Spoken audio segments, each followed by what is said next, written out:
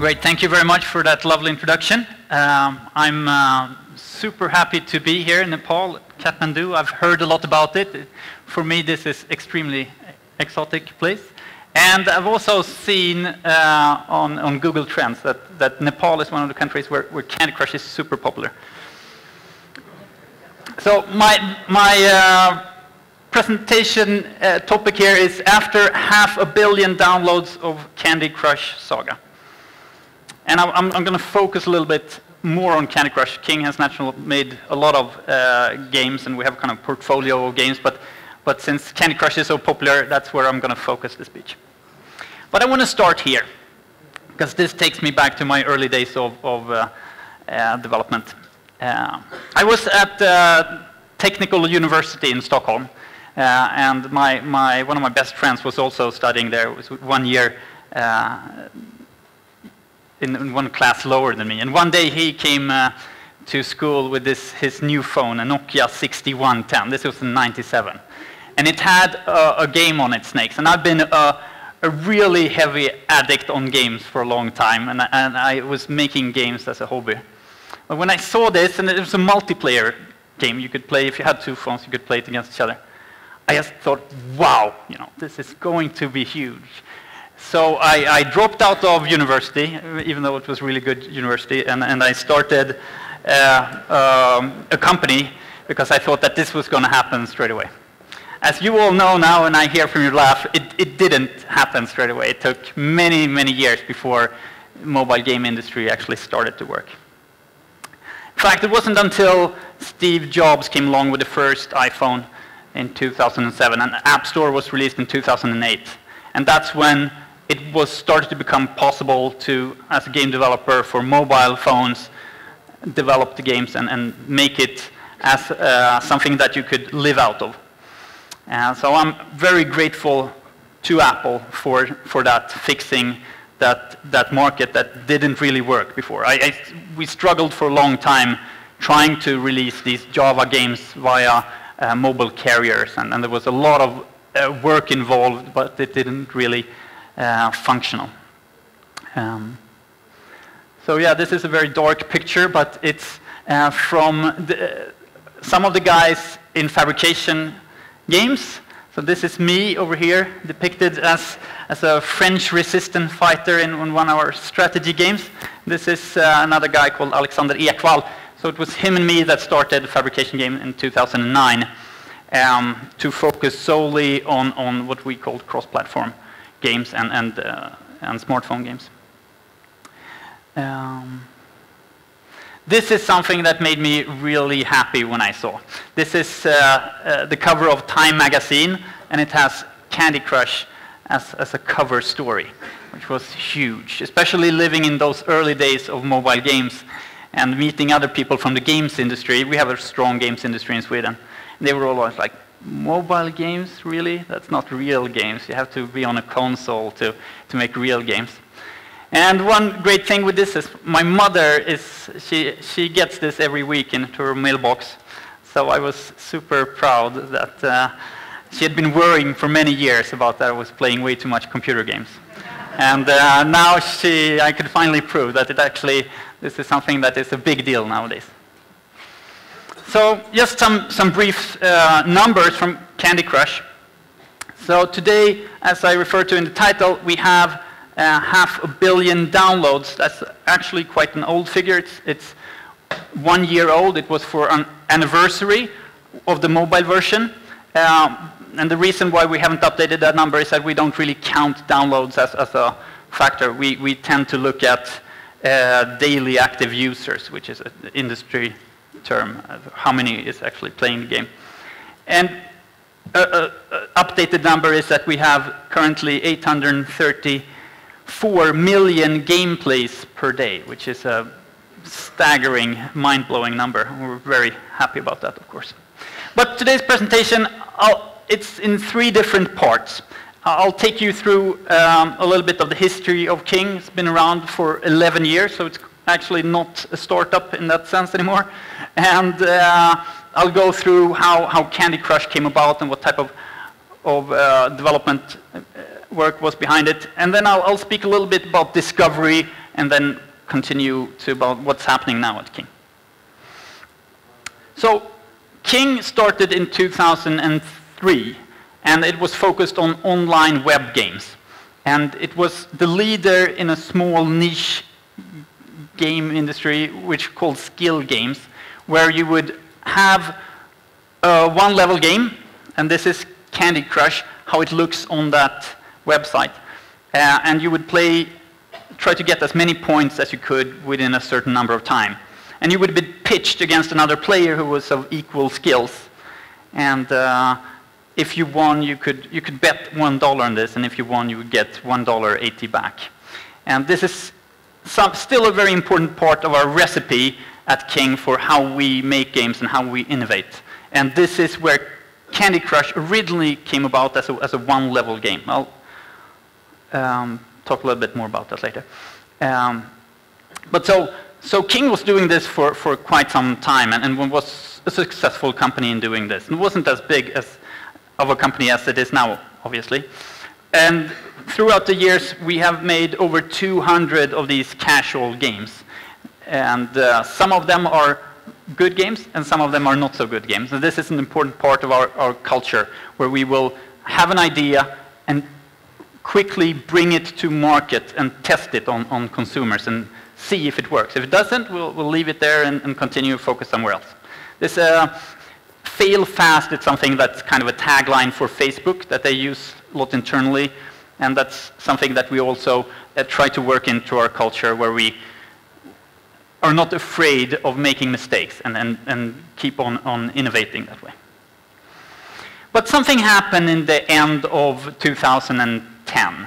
So King were distributing their games via portals, such as uh, Yahoo Games that you can see here on the left. And um, that was all fine and dandy until Facebook came along and disrupted this industry. And people were going, they see this curve is going straight down, and they were instead going to, to Facebook as their first page of internet.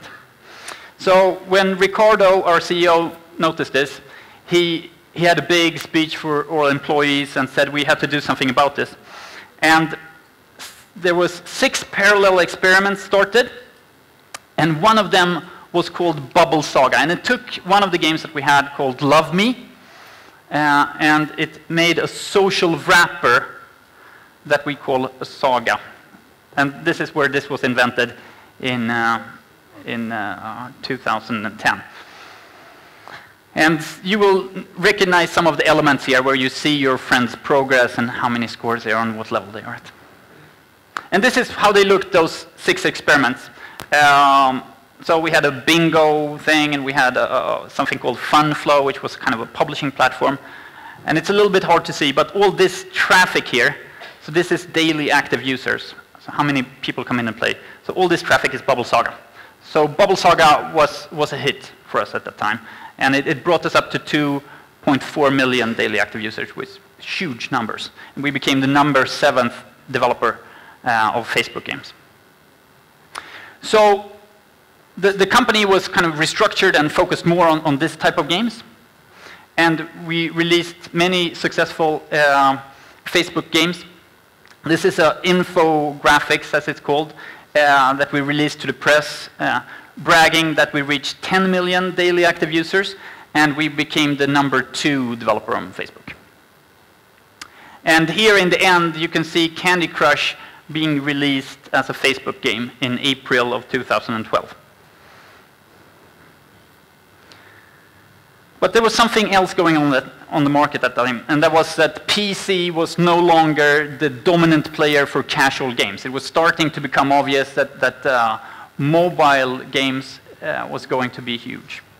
This graph here is showing the decline of uh, PC, Windows PC sales. If you combine them, this is a really good graph that I found on Business Insider, or the data is there, at least I, I made a graph actually. But uh, here, the bottom, you can see the PCs keep on growing as a platform. But if you combine it with, with this growth of smartphone and tablets, you have a huge potential market. This is a great way of illustrating this, I think. This is the installment of the new Pope in 2005. And in 2013, so last year. And you can really see visually how the world changed in a short period of time. And you see a, an ocean of potential gamers that have a, a, a, potent game console in their hand, which is uh, really interesting from a business point of view. So yeah, that, that covers my first take on this uh, 11 years King has been around. So more on making the actual Candy Crush Saga game. So as I said, Candy Crush started out in, in 2011 as one of our games that we have on the site.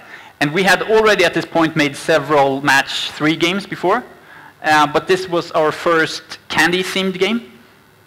And uh, it was a, a, team of three people who made this first um, game in Flash.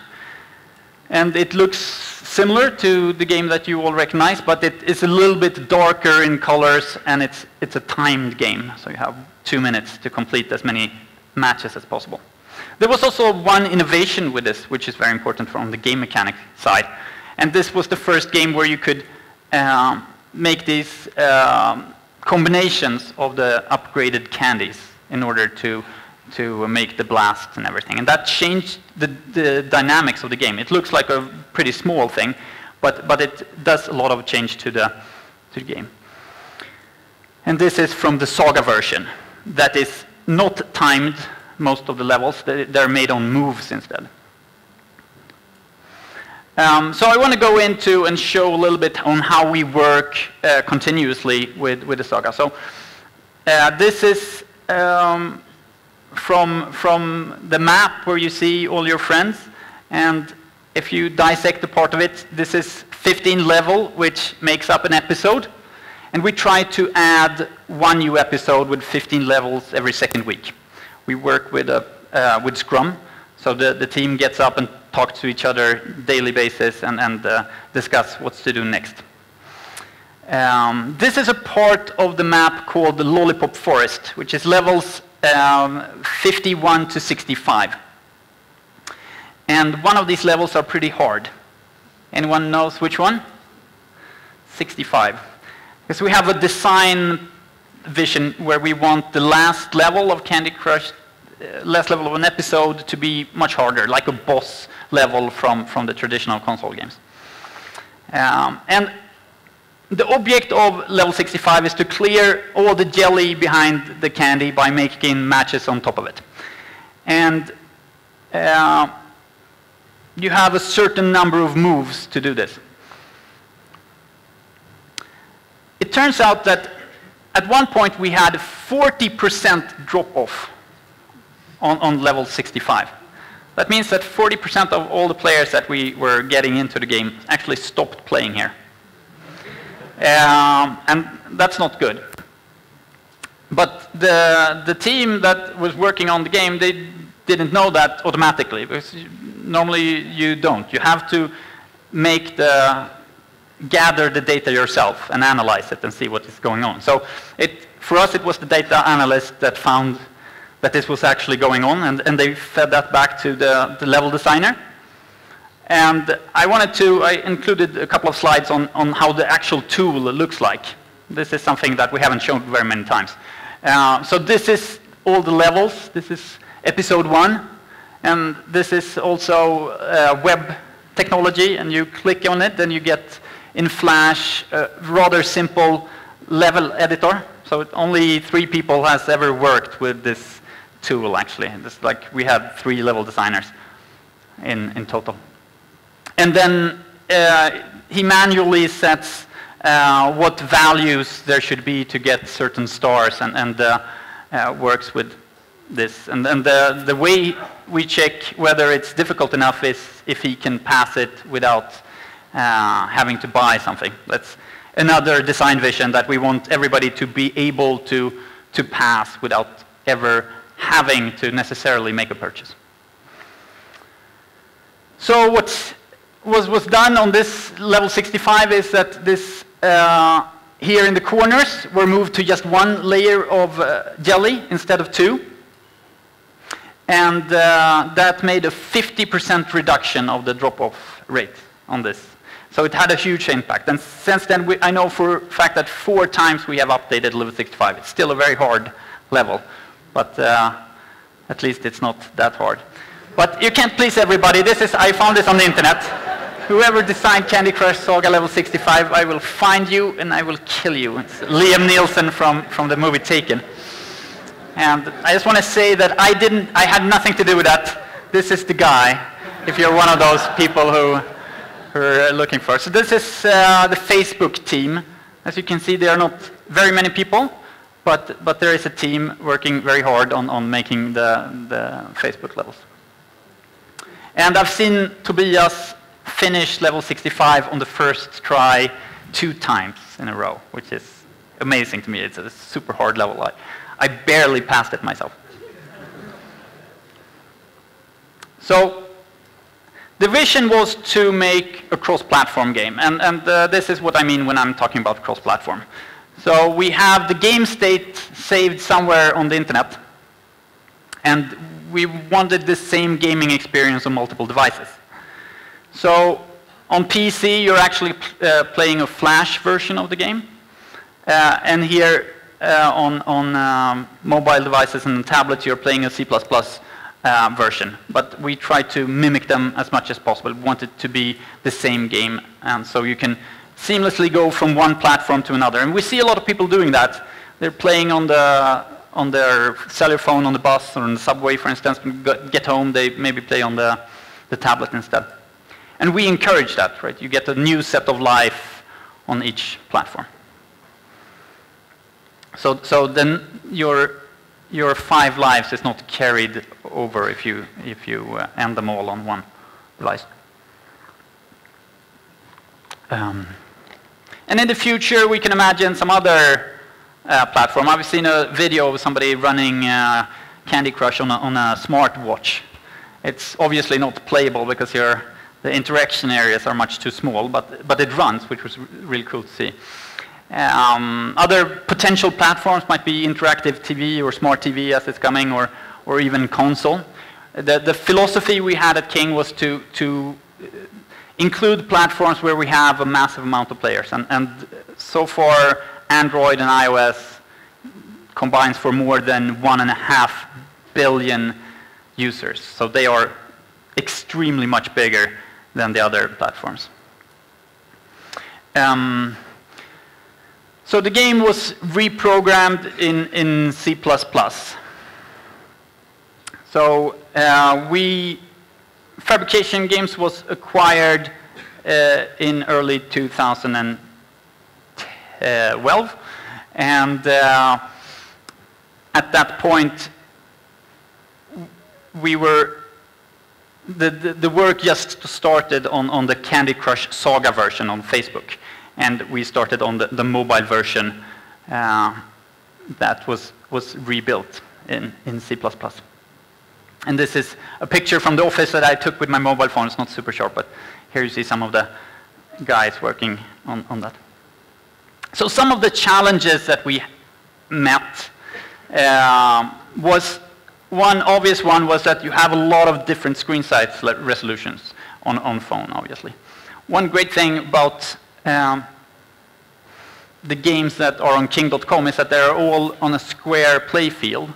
So we, we kept that uh, intact and then we just wrapped all the graphical user interface uh, components around it.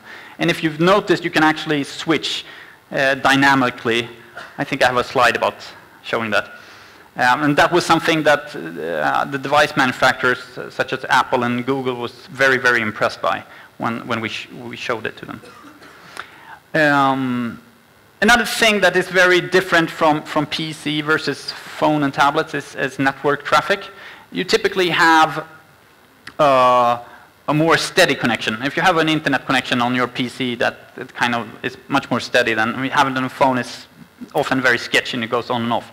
Actually in Sweden we have extremely stable uh, network so it's not a really good home market to if you want to make a global game, you shouldn't be too home blind, which is very easy to become because that's the environment you're in all the time.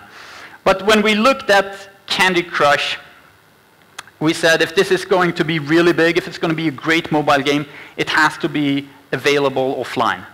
So we'll try to make all the functionality so you, will have as much of that as possible when you're offline. So that delayed the development a little bit, but in the end that was absolutely worth it. We see that a lot of people are playing typically in the, in the underground in London or, or the subway in, in, New York, where they don't have a lot of other entertainment form to, to access easily. The user behavior is very different on a mobile phone. You typically want to go about your life very quickly. Uh, if, if you're on the bus and you need to get off, it's, it's not good to play a first-person shooter uh, type of game because you need 100% of your mental bandwidth to play that type of game. And you, you can clearly see that if somebody's playing uh, a game like Battlefield and, and uh, their wife is, or girlfriend is saying something to them, they're extremely disturbed because you, you get out of the flow and you need to really focus. Whereas with, with the, the games that, um, the casual games that we have uh, done, we have it based on moves instead. So you can at any time look up and, and have a conversation going on in parallel, which is really helpful. We also spend a lot of time making sure that it's really easy to start and stop the game. Those things are, are very important. Uh, before, when we were working, I've seen a lot of uh, demands from um, if you're working with a console and they have different demands on what you need to do to, to um, satisfy the, the rules. And it can typically be that you have to pop up, are you sure you want to quit? And yes, and then you exit to menu, and then you have to go out from that. And that's extremely frustrating as a user. You need to really focus on how to provide the best uh, possible user experience. And the last but not least is, is discovery that I'll, I'll, pop into briefly and, and talk about that too. Yeah, so here's the slide that shows uh, really well the, the square play field in the middle, and then we just wrap the GUI components around this. That makes it really easy to play the game with one hand or with one thumb, which is, is really good for, for a mobile game. Um, and we took a lot of care also to make sure that if you're on tablet, you, you really shouldn't just look at the tablet as, as a, the same device as a phone, because if you're on tablet, you typically don't reach the entire screen as easy. So we really go into and look at the tablet as well as a, special, as a other type of device. So this is what happened after the launch. Uh, this is a graph that shows the, the, traffic that we have, the daily active players. And uh, the blue area, it's not super easy for you to see, is the Facebook traffic we had. And here we launched the mobile versions, and that's this part, different mobile versions. What was really interesting here is that we had exponential growth in the Facebook traffic as well. And that's basically just because it became a much, much better game. Because you had, uh, all of a sudden you could bring the game everywhere, you had much easier to show it to your friends. So we had a, a huge spread of the game that people were, were showing, you know, you need to download this. And Retention went up a lot. People were keeping playing it much more than they were before. And monetization was also better. So this graph is something that is uh, really uh, fun to look at. This is from App Annie, and I just search for uh, top grossing ranks in the US store for iPhone games. And this is Candy Crush. This is the launch date. And here is until uh, two days ago or something. So it's been a fantastic ride, and it's, it's been really fun to work on, on a project like this. So just to, to recap what, what went really well with, with uh, Candy Crush and, and why, why it became this global phenomenon.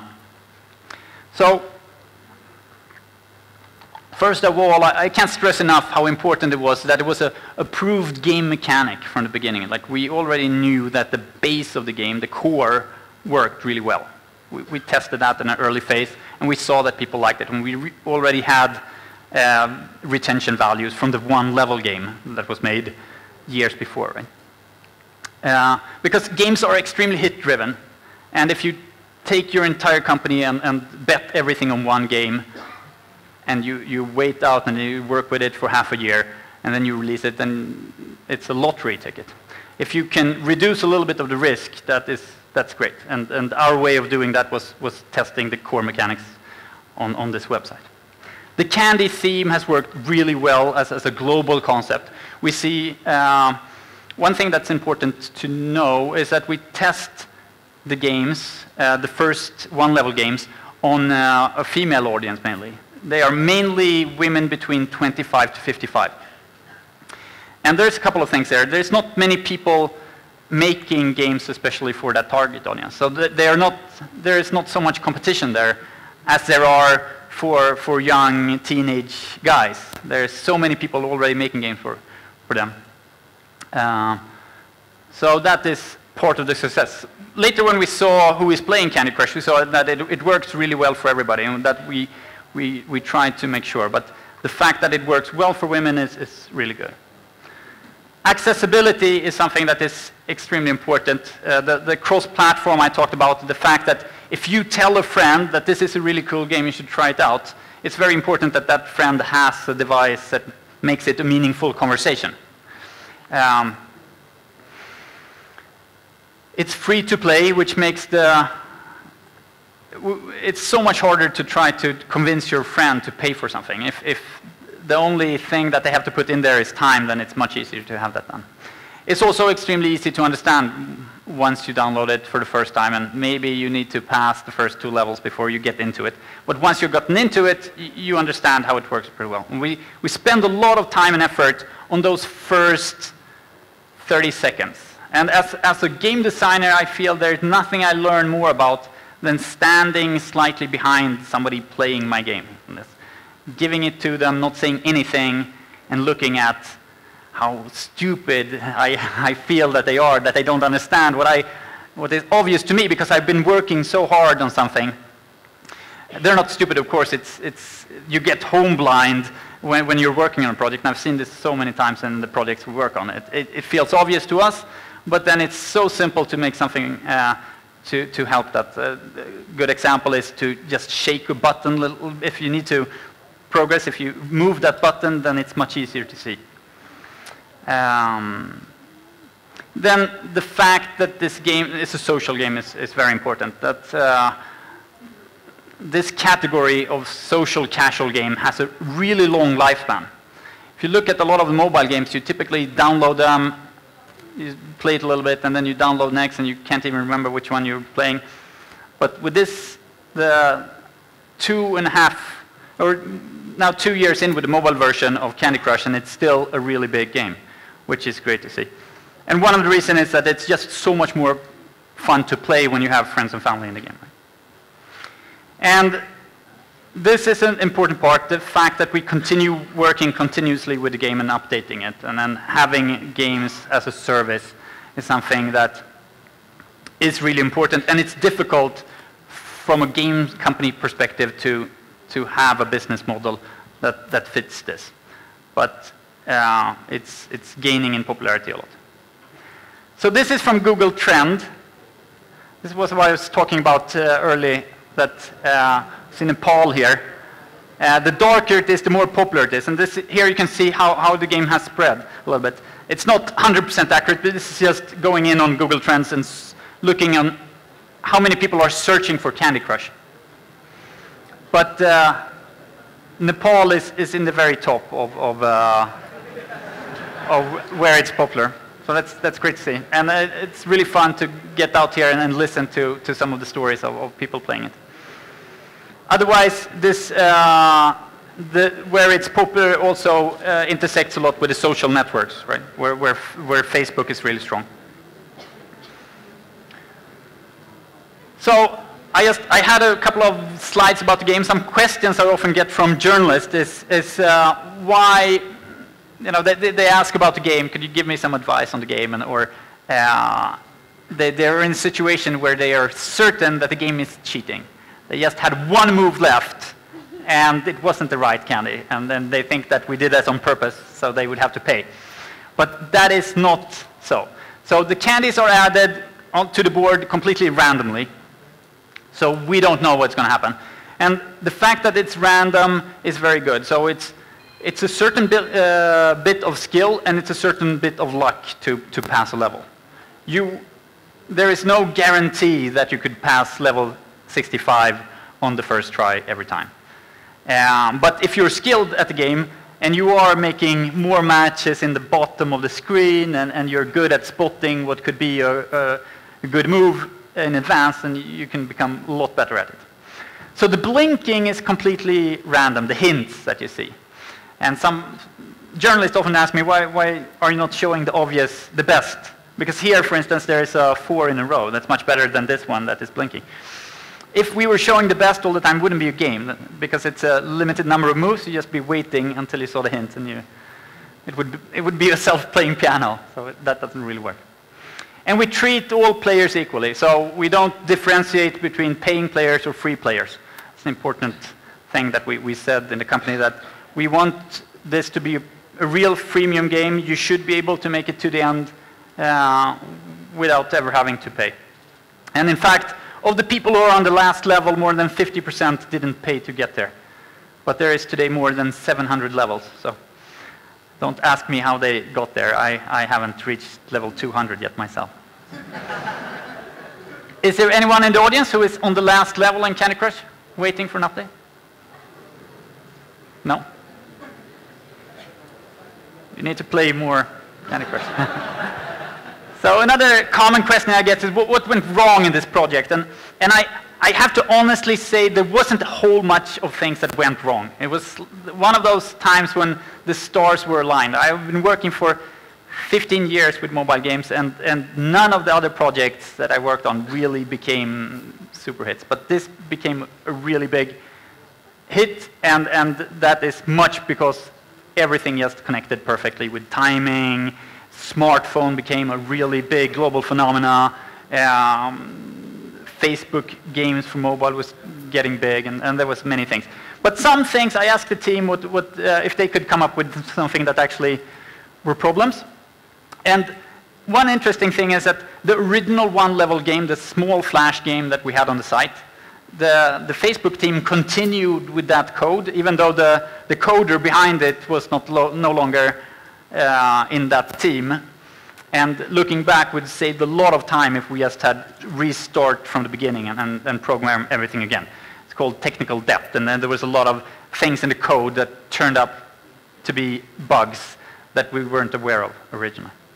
And as I said, the mobile team and the Facebook team, two different teams. So uh, we had uh, two different code bases, and at one point scores were calculated differently because one team didn't tell the other that they had changed something. So uh, what we did is we moved the team together so now they're sitting next to each other and, and, uh, and interact more easily. So the last thing, and I, won't spend too much time on this, is discoverability and, and marketing and branding. If you're, if you're new and you're coming to App Camp because you want to develop games, this is not, shouldn't be one of your first concern. If you've been in the industry for a while and you have some good products and, and you want to know how to, to get through the, these millions of apps that's out there, then you are having the same problem as a lot of other app developers. So I'll, I'll, briefly go into some of the things that we did with, with Candy Crush. One of the things that we did was, was to use a lot of channels at the same time. So we worked actively with PR at the launch. We, we went and spoke to journalists, games journalists, uh, had a lot of reviews being made. Uh, uh we had Facebook traffic, obviously, I'm going to go in, talk a little bit more about that. We had, did a lot of banner advertising in the beginning. We did almost no TV advertising that we are doing now, or we did no uh, TV advertising, just digital advertising where we could follow how it worked. Uh, nowadays, cross-promotion is a big thing, and we actually, we were of course cross-promoting Candy Crush from the Facebook game. The Facebook game was released first, so we already had millions of users when the mobile game was released and we could say, you know, this day the, the mobile game comes in. So the first weekend we had a lot of downloads, and we pretty soon reached uh, the top chart. And from reaching the top chart, you get a lot of extra downloads because you get a lot of visibility from there, of course. You can pray or hope for a feature by some of the device manufacturer, Google or Apple, but that's something that you can't you buy your way into. So that's hard to, hard to affect. There's a couple of things that you can do. If you look at what's important to them and try to, to make your game accordingly. They are, if you look at Apple, for instance, they typically sell hardware. That's, that's the, a lot of the mindset behind it. They are primarily out to sell new models of their uh, devices. So they really like things that is showing off um, how beautiful things look on the screen or how fast their graphics processor is running or things like this. Um, so these are some graphs that just brings me to a conclusion. So if you look at app book face discovery, it's mainly viral. So friends inviting friends. You all like when you get this uh, Facebook request I heard from, uh, from some of the feedback I got. You want more? I'll, I'll go and ask the team to tune it up a little bit, four times as many messages. Now, uh, but app discovery is mainly driven by the app stores themselves. And uh, here you see uh, the, this is iOS, the, the top one, and the bottom one is Android, and look very similar. And about 35% is driven from, from people going into app stores, discovering app that way. But one thing you can use and utilize, and that's what we did, is the, that over 50% of the smartphone users are using Facebook on their phones. And that's a lot of people. Uh, and this is something called deep linking, which is basically um, if you have somebody playing, a, say that it's another game, this is a Bubble Witch Saga, but if it was a, a card, collectible card game, for instance, and you want to make a trade with one of your friends, because you have found that special card that you know he wants, and it doesn't make it uh, meaningful to you. So if you send a request to them, um, they get a pop-up in their notification on the Facebook feed. And this goes from desktop to mobile and vice versa, so it doesn't matter really uh, what device you're on. If they click this, if they have the game installed, it'll take them directly to the game, and you can send parameters in there, so you can actually get them straight into that trade that you've proposed. If they don't have it, they will be taken to that app on the App Store. And this works both on Apple and Google. And this is an extremely powerful loop that you can uh, help your players uh, to, to, uh, to promote the games to their friends. And Facebook has a, a lot of other uh, technology that you can use if you want to advertise your game, uh, such as notification and feed. But I'll, I will not bore you with that. Um, another thing that I thought was worth mentioning, this has been something that worked really well in Candy Crush. The, the fact that you can ask three friends to, to unlock the game. And you have to wait until those three friends uh, go in and, and help you. It, it, both serves for promoting the game uh, because you have to wait a little bit and you want to continue and it's a little bit frustrating. So some people just pay the one dollar and continue. Other people do what my mother does and she calls me five seconds after she clicked that she wants to continue. So it's like, why are you not on the uh, Candy Crush and then uh, letting me pass? And so I, I, go in and do that.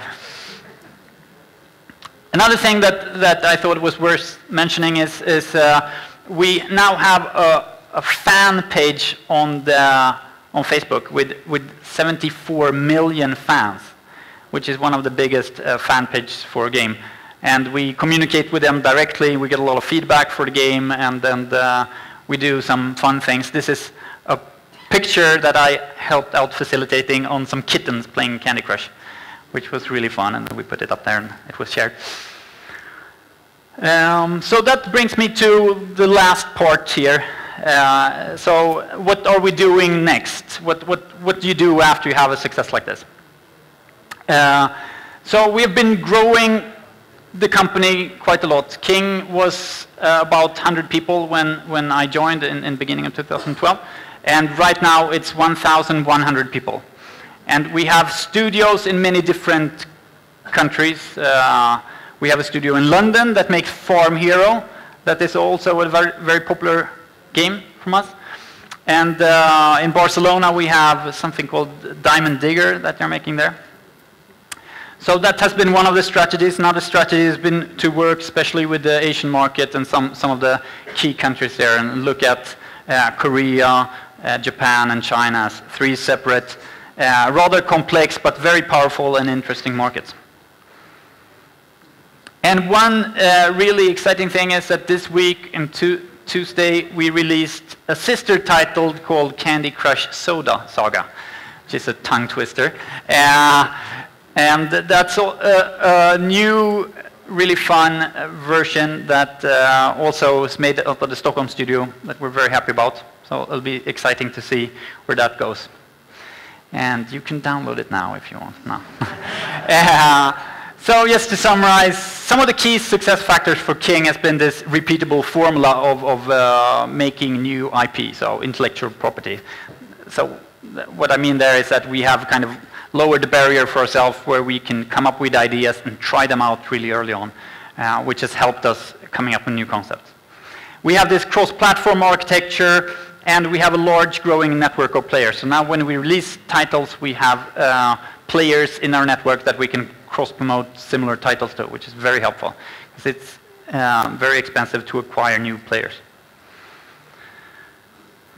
That summarizes this presentation for me at this point. Thank you.